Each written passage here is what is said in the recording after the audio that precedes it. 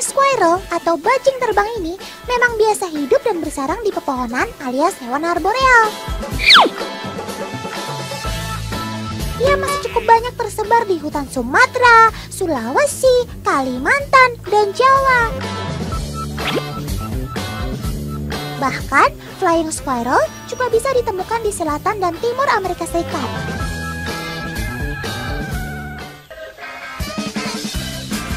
Bajing terbang merupakan mamalia pengerat yang termasuk dalam ordo Rodentia.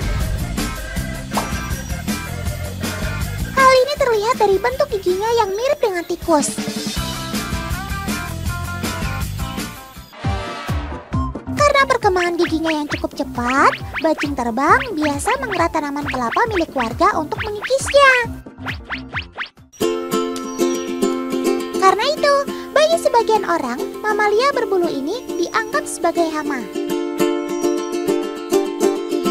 Gak heran, bajing terbang memang banyak diburu. Tapi, kalau keseringan bisa punah juga kan? Oke teman, seperti yang kalian lihat di awal tadi, flying squirrel adalah mamalia yang pandai terbang.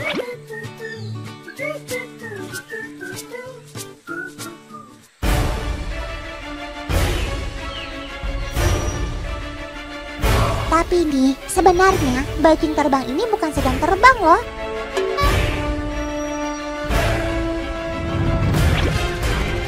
Ia hanya melompat dan meluncur dari tempat tinggi ke tempat yang lebih rendah. Sehingga mirip terbang deh. Wush, wush, wush.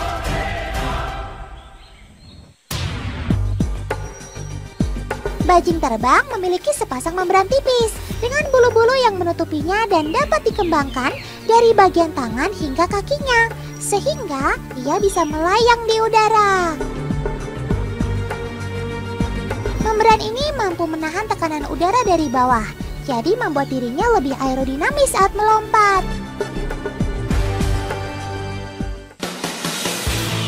Saat melayang, mamalia ini menggunakan pergelangan tangannya sebagai kemudi, serta bagian ekor untuk menjaga keseimbangan dan rem saat mendarat.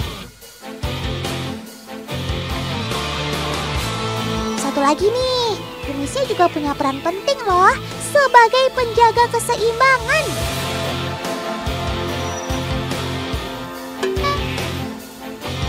Hebatnya, flying squirrel pernah tercatat mampu melompat hingga 90 meter.